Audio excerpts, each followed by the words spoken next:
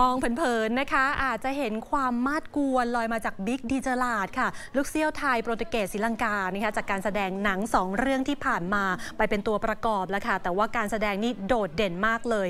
พอมาถึงเรื่องล่าสุดนะคะ อย่างสี่ทรชนคนอันตรายค่ะ คราวนี้รับบทนำแล้วเป็นหนึ่งในสี่นะคะที่รับบทเป็นแก๊งมิจฉาชีพค่ะ ประกอบกับพระเอกนะคะพลพวัตนะคะแล้วก็ยังมีกายศิวกรค่ะมีเอมวิทยวัฒน์แล้วก็สายป่านอภิญญาาด้วย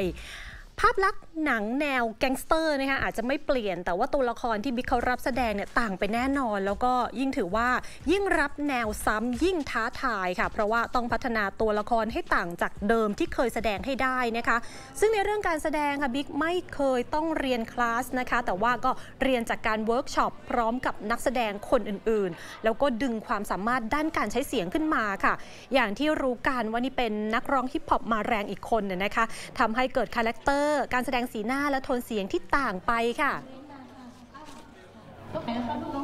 คือเออจริง ๆ แล้วตัวละครเนี่ยครับมันจะต่างกับเออตัวละครแนวเออแบบอื่นๆที่ผมเล่นมา ถึงแม้ว่ามิติหรือโทนสีของมันจะคล้ายกันเออ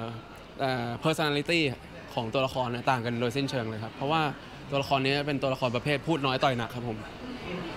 ไม่ไม่พูดเยอะครับ เน้นเน้นแบบว่าเป็นการเอ่อ expression ด้วยสีหน้า ผมออกแบบทั้งโทนเสียง ออกแบบทั้งวิธีการหัวเราะวิธียิ้มใหม่ วิธีการ